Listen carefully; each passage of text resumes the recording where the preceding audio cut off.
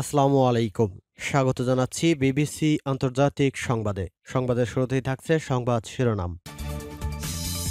নেপাল, আফগানিস্তান, পাকিস্তানকে নিয়ে চীনের নতুন জোট। ভারত সীমান্তে যুদ্ধ বিমান মোতায়েন পাকিস্তানের। জলে স্থলে সমান ক্ষমতায় দাপাচ্ছে চীনের উভচর বিমান। চীনের সাংসাইয়ের কাছে চক্কর কাটছে মার্কিন যুদ্ধবিমান চিন্তিত বেইজিং। চীনে থাবা বসাতে যা আছে ভারতের রাফায়েল যুদ্ধ বিমানে। আমেরিকার আরও একটি গোয়েন্দা বিমানকে বাধা দিয়েছে রাশিয়া। ভারতের দাদাগিরির দিন শেষ।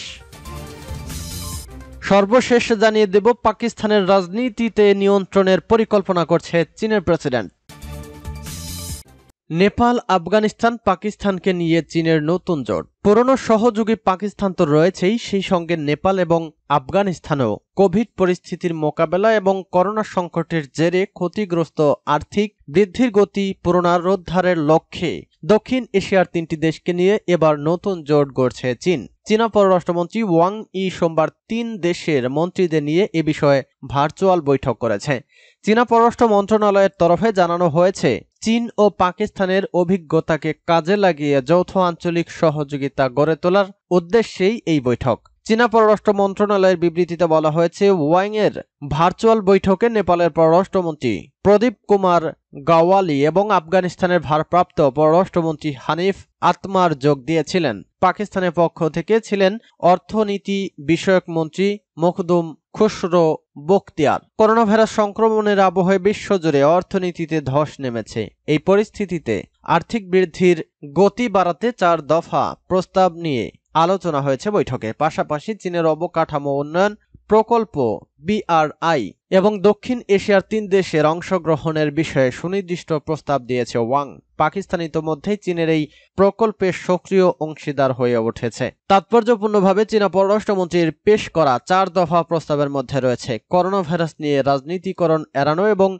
ধীরভাবে বিশ্ব স্বাস্থ্য সংস্থার পাশে দাঁড়ানোর বার্তা। বৈঠকে চীনা পররাষ্ট্রমন্ত্রী জানিয়েছেন, পাকিস্তানকে পাশে নিয়ে করোনা মোকাবেলা আফগানিস্তান ও নেপাল সর্বভৌতভাবে সহযোগিতা করবে বেইজিং। জনস্বাস্থ্য অবকাঠামো গড়ে তুলতেও সাহায্য করা হবে। করোনার টিকা বাজারে আসার পরে তা পেতেও সহায়তা করা হবে ওই দুই দেশকে। আর তার বদলে চীনের লক্ষ্য স্পষ্ট করে দিয়েছে ওয়াং। তিনি বলেছেন, আমরা চীন পাকিস্তান ইকোনমিক করিডোর এবং ট্রান্স হিমালয়ন কন্টেন্টিভিটি নেটওয়ার্ক সম্প্রসারণে সক্রিয় হব। এর ফলে উপকৃত হবে আঞ্চলিক অর্থনীতি। সূত্র, আনন্দবাজার পত্রিকা।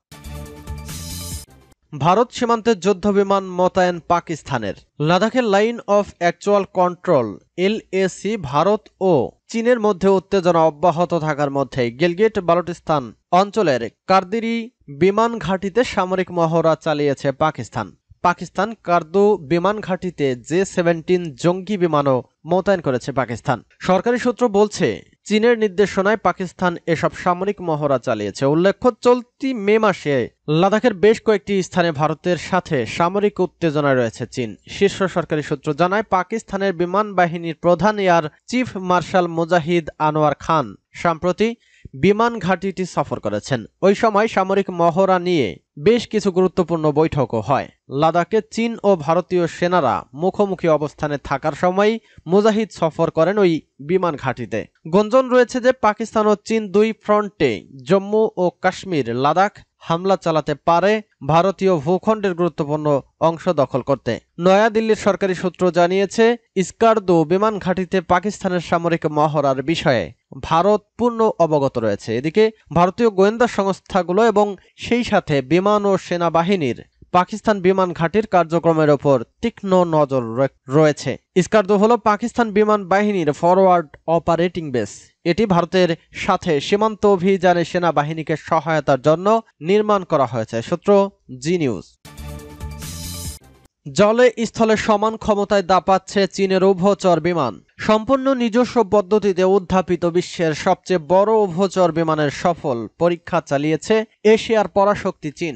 স্থলে এবং গভীর সমুদ্রে এরই মধ্যে বিমানটির পরীক্ষা চালানো হয়। দুটি পরীক্ষাতেই সফল হওয়ার দাবি করেছে বেইজিং। চীনা কর্তৃপক্ষের বরাতে সাউথ চায়না মনিটরিং পোস্ট জানিয়েছে এজি ছশো নামের অত্যাধুনিক এই সুবিশাল বিমানটি যে কোনো জটিল আবহাওয়াতেও উঠতে সক্ষম। একেবারেই দেশীয় প্রযুক্তিতে তৈরি বিমানটি জাংতুং প্রদেশের জিংতাংয়ের সমুদ্রের ওপর সফলভাবে উড়েছে। অত্যাধুনিক এই বিমানটি চীনের জিংতাংয়ের সমুদ্র থেকে মঙ্গলবার স্থানীয় সময় সকাল দশটা আঠারো মিনিট ওড়ে, যা সফলতার সঙ্গে একত্রিশ মিনিটের টেস্ট ফ্লাইট সম্পন্ন করে।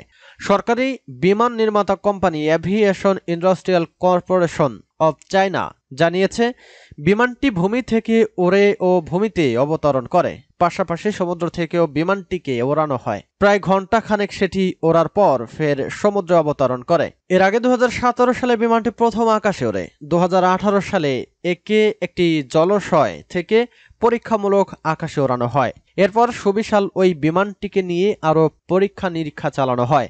এরপর সমুদ্র থেকে টেস্ট ফ্লাইট সম্পন্ন হওয়ার পর বিমানটিকে আরও বেশ কিছু পরীক্ষা নিরীক্ষার মধ্য দিয়ে যেতে হবে। এজি ছয়শো চীনের নিজস্ব প্রযুক্তিতে তৈরি বৃহৎ পরিসরের বিমান পরিবহনের সদস্য। দাবানল নেভানো, সমুদ্রে উদ্ধার অভিযান চালানোর উপযোগী করে তৈরি করা হয়েছে এজি ছশো বিমানটি। চীনের সাংশায়ের কাছে চক্কর কাটছে মার্কিন যুদ্ধবিমান, চিন্তিত বেইজিং। করোনার তাণ্ডবের মধ্যেই যুদ্ধকালীন পরিস্থিতির সৃষ্টি হয়েছে দক্ষিণ চীন সাগর এলাকায়। দূতাবাস বন্ধ করা নিয়ে উত্তেজনার মধ্যে এবার চীনের আকাশ সীমার কাছে ঘুরতে দেখা গেল মার্কিন যুদ্ধ বিমানকে বিষয়টিকে কেন্দ্র করে বেইজিং এর অন্দরমহলে উত্তেজনা তৈরি হলেও এখনও পর্যন্ত কোনো মন্তব্য করেনি শি জিনপিং প্রশাসন। জানা গেছে, বেশ কিছুদিন ধরেই দক্ষিণ চীন সাগরের কাছে অবস্থিত গুয়াজাং এলাকার লেউঝু উপদ্বীপে সামরিক মহড়া চালাচ্ছে চীন। এর মধ্যেই রবিবার রাতে সাংশায়ের কাছে অবস্থিত ওই এলাকার একশো কিলোমিটারের মধ্যে চক্কর কেটে যায় দুটি মার্কিন যুদ্ধ বিমান এর মধ্যে একটি আবার সাংসাই থেকে ছিয়াত্তর কিলোমিটার দূরে ছিল বলেও জানা গেছে। ওই ঘটনার পর থেকে ওই এলাকায় উত্তেজনা ছড়িয়েছে। যদিও বেইজিংয়ের পক্ষ থেকে এখনও এই বিষয়ে কোনো মন্তব্য করা হয়নি। আরও জানা গেছে, ওই দুটি মার্কিন যুদ্ধবিমানের মধ্যে একটি পি এইটে অ্যান্টি সাবমেরিন বিমান, অন্যটি ইপি থ্রি ই যুদ্ধবিমান। দুটিতেই মিসাইল বিধ্বংসকারী আধুনিক অস্ত্র ছিল। এ নিয়ে মোট বারো দিন চীনের সামরিক মহড়া চলার জায়গার কাছে দিয়ে চক্কর কাটতে দেখা গেল মার্কিন যুদ্ধ বিমানকে চীন কি করছে তা দেখার জন্য আমেরিকা এভাবে নজরদারি চালাচ্ছে বলে মনে করছে আন্তর্জাতিক যুদ্ধ বিশেষজ্ঞরা, সূত্র হিন্দুস্তান টাইমস। চীনে থাবা বসাতে যা আছে ভারতের রাফায়েল যুদ্ধ বিমানে সব বিতর্কের অবসান ঘটিয়ে বুধবার ভারতের মাটিতে নামছে ভয়ঙ্কর যুদ্ধ বিমান রাফাল। প্রথম ধাপে আসছে পাঁচটি। তারপরে ধাপে ধাপে মোট ছত্রিশটি যুদ্ধ বিমান আসবে। প্রতিরক্ষা বিশ্লেষকদের মতে, রাফাল হাতে পাওয়ার পর ভারতীয় বিমান বাহিনীর ক্ষমতা ও শক্তি অনেকটাই বেড়ে যাবে। দু ইঞ্জিনের medium multi role combat aircraft গোত্রের এই যুদ্ধ বিমানে রয়েছে এমন সব অত্যাধুনিক ক্ষমতা ও প্রযুক্তি যাতে শত্রুপক্ষকে সহজেই টেক্কা দেওয়া যায়। নিশানায় যেমন নিখুঁত ও দ্রুত, তেমনি একসঙ্গে অনেকগুলো কাজ করতে পারে। ফরাসি এই যুদ্ধ বিমানের গতি বেগ ঘন্টায় দু কিলোমিটার। পঞ্চাশ হাজার ফিট পর্যন্ত উপরে উঠতে পারে। তবে স্বাচ্ছন্দ্যে উঠতে পারে মাটি থেকে সাতত্রিশশো কিলোমিটার উপরে। মাঝ আকাশেই জ্বালানি ভর্তি করার ব্যবস্থাও রয়েছে যে কোনো আবহাওয়ায়। সমান স্বচ্ছন্দ রাফাল যুদ্ধবিমান। যুদ্ধবিমানের দৈর্ঘ্য পনেরো দশমিক সাতাশ মিটার। প্রতিটি ডানার দৈর্ঘ্য দশ দশমিক আট মিটার। সুখয়ের চেয়েও বেশি ওজন বহন করতে পারে রাফাল। সুখয় বহন ক্ষমতা আট হাজার কিলোগ্রাম। রাফাল সেখানে ন হাজার পাঁচশো কেজি ওজন নিয়ে উঠতে পারে। রাফায়েলের রয়েছে ডেল্টা উইং, গ্রিক বর্ণ ডেল্টা থেকে এই নামের উৎপত্তি, যার আকৃতি অনেকটাই ত্রিভুজের মতো। অত্যাধুনিক অধিকাংশ যুদ্ধবিমানেই এই ডেল্টা উইং থাকে, যা দ্রুত গতিতে উঠতে সাহায্য করে। যুদ্ধের সময় প্রতিপক্ষ সেনার অবস্থান ও প্রকৃত বুঝতে পারলেই কোথায় হামলা চালানো হবে, কীভাবে হবে, সেই সব কাজ অনেক সহজেই হয়ে যায়। এই রণকৌশল রাফায়েল সুদক্ষ। আকাশে অনেক দূর থেকেও শত্রুপক্ষের সেনা ঘাঁটি ও সমর সমরাষ্ট্রের নিখুঁত ছবি তুলে পাঠাতে পারে। এর পাশাপাশি শত্রুপক্ষের রেডার জ্যাম করতে পারে জল স্থল হোক বা আকাশ তিন ক্ষেত্রেই শত্রুপক্ষকে চিহ্নিত করতে পারে এবং নিখুঁত নিশানায় আঘাত করতে পারে। এসব সাধারণ প্রযুক্তিতে রয়েছেই, তার সঙ্গে ভারতের জন্য আবারও নির্দিষ্ট করে কিছু বৈশিষ্ট্য যুক্ত হয়েছে। তার মধ্যে অন্যতম উচ্চ আকাঙ্ক্ষা উচ্চ অক্ষাংশ থেকে আকাশে ওড়ানোর ক্ষমতা। লেহ ও ভারতীয় বিমান ঘাঁটির কথা মাথায় রেখেই অতিরিক্ত এই বৈশিষ্ট্য যোগ হয়েছে ভারতের রাফায়েলগুলোতে। সোমবারেই ফ্রান্স থেকে ভারতের উদ্দেশ্যে উড়েছে প্রথম দফায় পাঁচটি রাফাল। বুধবার পৌঁছাবে আম্বালার ভারতীয় বিমান বাহিনীর ঘাঁটিতে। সূত্র, আনন্দবাজার পত্রিকা। আমেরিকার আরও একটি গোয়েন্দা বিমানকে বাধা দিয়েছে রাশিয়া। কৃষ্ণ সাগরের আকাশে আমেরিকার আরও একটি গোয়েন্দা বিমানকে বাধা দিয়েছে রাশিয়ার সামরিক বাহিনীর রুশ প্রতিরক্ষা মন্ত্রণালয় জানিয়েছে, গত এক সপ্তাহে কম সময়ের মধ্যে এই নিয়ে তিন দফা মার্কিন গোয়েন্দা বিমানকে কৃষ্ণ সাগরের আকাশে বাধা দেওয়া হলো। রুশ প্রতিরক্ষা মন্ত্রণালয় জানিয়েছে, রাশিয়ার দক্ষিণাঞ্চলীয় সীমান্ত থেকে মার্কিন গোয়েন্দা বিমান শনাক্ত করার পর সেটিকে বাধা দেওয়ার জন্য একটি এস ইউ টোয়েন্টি সেভেন যুদ্ধবিমান পাঠানো হয়। রুশ মন্ত্রণালয় বলছে, আমেরিকা পি এইট পজিডন বিমান পাঠিয়েছিল, তবে রুশ বিমানের বাধার মুখে সেটি তার গতিপথ পরিবর্তন করতে বাধ্য হয়। রাশিয়ার প্রতিরক্ষা মন্ত্রণালয় বলছে, দেশের সীমান্ত লঙ্ঘনের কোনো সুযোগ শত্রুপক্ষকে দেওয়া হবে না। এর আগে গত বৃহস্পতিবার ও শুক্রবার আমেরিকার গোয়েন্দা বিমান রাশিয়ার আকাশে ঢোকার চেষ্টা করলে তাদেরকে বাধা দেওয়া হয়। আমেরিকার বোমারু ও গোয়েন্দা বিমান প্রায়ই রাশিয়ার সীমান্তের কাছে শনাক্ত করা হয়ে থাকে। রাশিয়া এসব ঘটনাকে উস্কানিমূলক বলে মনে করা হয়।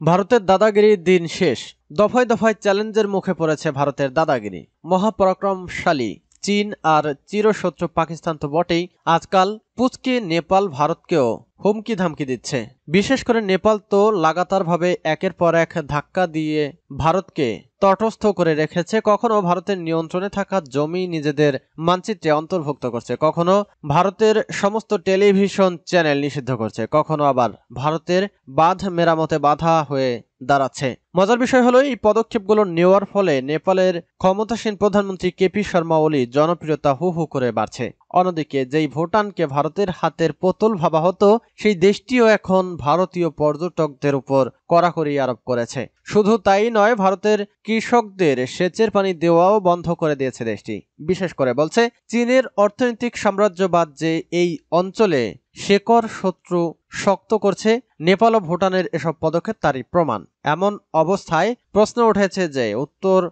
মহাদেশে কি ভারতের আধিপত্য আর কর্তৃত্ববাদের দিন শেষ? ভারত কি ক্রমেই একঘরে হয়ে পড়েছে? পাকিস্তানের রাজনীতি নিয়ন্ত্রণের পরিকল্পনা করছে চীনের প্রেসিডেন্ট। কয়েক বছর যাবৎ পাকিস্তানের রাজনীতি এবং অর্থনীতিকে নিয়ন্ত্রণে নিতে বেশ কিছু পদক্ষেপ নিয়েছে চীন। দু হাজার ষোলো সাল থেকে চীন পাকিস্তান করিডর এবং সিপিইসি কর্তৃপক্ষকে বেশ দেশটির কাঠামোগত ও বিদ্যুৎ উৎপাদন প্রকল্পকে নিজেদের নিয়ন্ত্রণে রাখতে চাপ দিয়ে আসছে চীনের প্রেসিডেন্ট শি জিনপিং। যদিও চীনের এই প্রস্তাব প্রত্যাখ্যান করেছিল পাকিস্তানের নেওয়াজ শরীফ সরকার, কিন্তু পরবর্তীতে তা আবারও গ্রহণ করেছে ইমরান খান সরকার। এশিয়া টাইমসের এ প্রতিবেদনে আলী সালমান আন্দানি পাক সড়ক, পাক সরকার প্রধান ইমরান খানকে সামরিক শাসনের পুতুল বলে উল্লেখ করে বলেছেন। পাক পরিকল্পনা মন্ত্রণালয়কে নিয়ন্ত্রণে চীনের প্রেসিডেন্ট শি জিনপিং এর চাহিদা পূরণের পরিকল্পনা বাস্তবায়িত ও সফল হয়েছে। তিনি আরও বলেছেন, আমি পাকিস্তানের পরিকল্পনা, উন্নয়ন ও বিশেষ উদ্বেগ মন্ত্রণালয়কে অন্যতম গুরুত্বপূর্ণ রাষ্ট্রীয় প্রতিষ্ঠান হিসেবে বিবেচনা করি। এই প্রতিষ্ঠানগুলোর সিনিয়র আমলারা সুস্পষ্টভাবে শির ডেক্রোনিয়ার সিপিইসি স্ক্রিমটি যাচাই বাছাই এবং প্রতিহত করতে পারেন, কারণ তারা চুক্তির সমস্ত গোপন নথিতে অনুমতি পেয়েছে এবং এ চুক্তির সিদ্ধান্ত গ্রহণের সঙ্গে জড়িত ছিল না। তিনি বলেন, যতক্ষণ পর্যন্ত বেসামরিক সংস্থাগুলোর কর্মচারীদের ওপর সি নিয়ন্ত্রণের একটা মাত্রা ছিল, ততদিন পর্যন্ত চীনা প্রেসিডেন্টের পরিকল্পনা বাস্তবায়ন অসম্ভব ছিল।